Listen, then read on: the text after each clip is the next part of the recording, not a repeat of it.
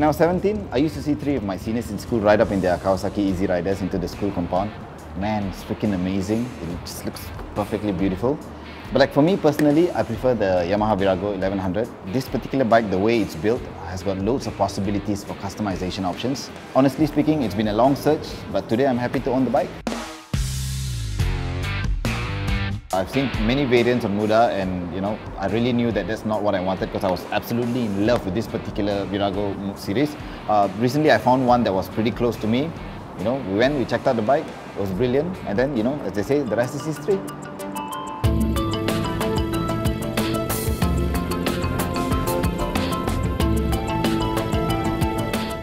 Mudah's got a huge biking community on it. Uh, I think for any bike enthusiast, you can find from total bikes right up to accessories and parts. And a lot of it is based on location and affordability.